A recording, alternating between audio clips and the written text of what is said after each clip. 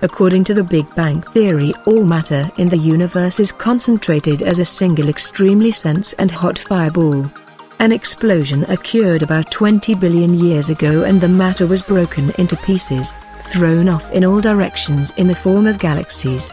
Due to continuous movement more and more galaxies will go beyond the boundary and will be lost.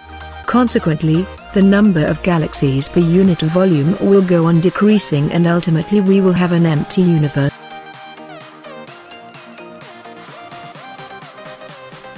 Some astronomers believe that if the total mass of the universe is more than a certain value, the expansion of the galaxies would be stopped by the gravitational pull.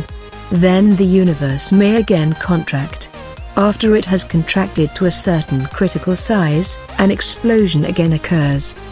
The expansion and contraction repeat after every 8 billion years. Thus we may have alternate expansion and contraction giving rise to a pulsating theory.